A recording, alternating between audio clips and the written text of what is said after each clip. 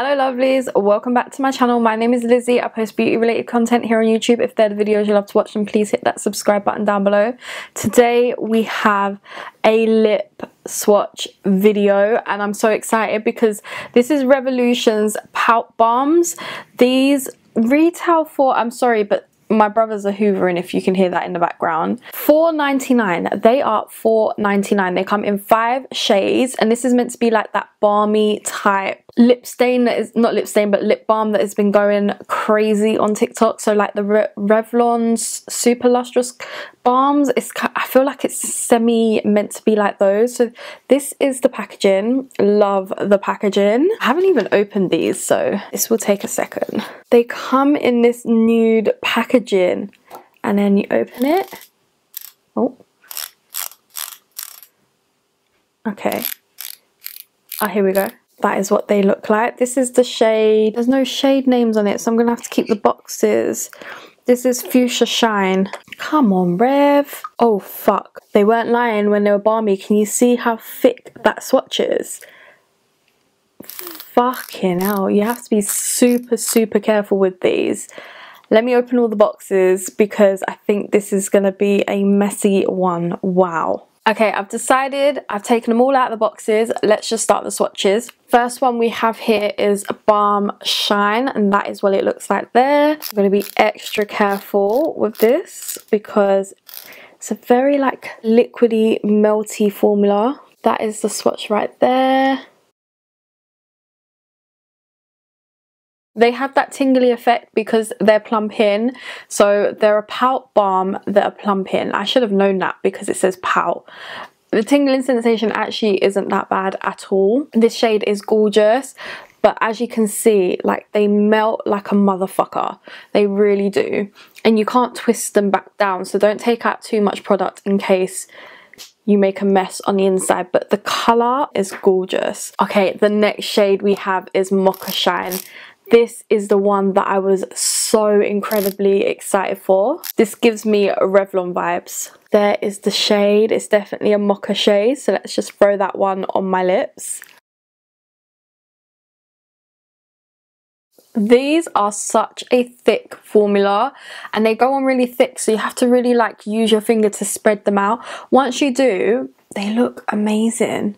This, this shade is gorgeous. This is my favourite. This is that Revlon super lustrous one that's been going viral on TikTok. So yeah, do love it. The tingling feeling, I'm putting two on doesn't hurt whatsoever. The next shade we have is Rose Shine, which is a shade again that I was very much looking forward to. I'm finding the best way to apply these. So this is the shade Rose Shine on my hand here. This is what it looks like on my lips. The best way to apply these because they are very thick and because they're round and not pointy, I got very like pointy cupid bow lips but they can go round if I use the right lip liner but with nothing I'm struggling. These aren't sticky either. These are really nice. So I put a little bit on this half and then go like that it smooches it down here. Then I do the same here a little bit on that half down like that. Then I use my fingers to spread it out. Just look at that colour. It looks gorgeous on the lips. So that is the rose one. Next shade we have is pink shine. Wow that is a gorgeous gorgeous colour. Oh you gotta be so careful. Look I've just like smushed it. They're really like you're gonna lose a lot of products with these if you're not careful Okay, this was the hardest one to do because I'd smushed it everywhere. It was so hard to put on the lips because of that. I put too much product on as well. The application isn't really as practical as I'd want it to be. And the last shade we have is Fuchsia Shine, which is that bright one there from the beginning. Because I've smushed it again, it's going to be a hard one to apply. So give me a second. Okay, this one makes your lips look so plump. It's very bright, but it's very balmy. Actually, I figured out how to apply this without it going everywhere. So yeah, once you smush them down, you just got to be very careful. The formula of these is just so, so like melty. It's like, do you know that, that scandal that went around with Jaclyn Hill where she, when her lipsticks got to people, they just melted? I feel like these just melt everywhere. It's so weird. The packaging is nice. Like I love the color of the packaging, but the actual application is not practical. You have to be very careful. And if you're someone that just wants something to put on and go, this is not for you.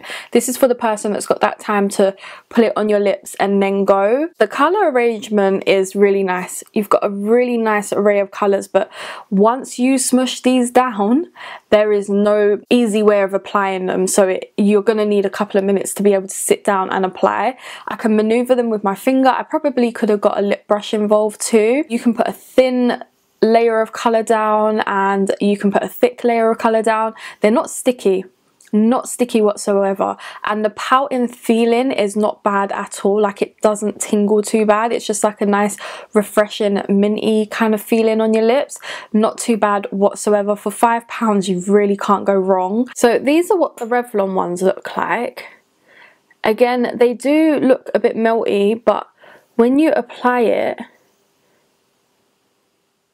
can you see that? It still holds its shape. It's still very really really thick. I don't know if they were trying to dupe revlon. I doubt it very much. I feel like they're not because of the fact that they've got that pouting, pouting sensation. And these kind of balmy lip gloss lipstick type things are very much in at the moment.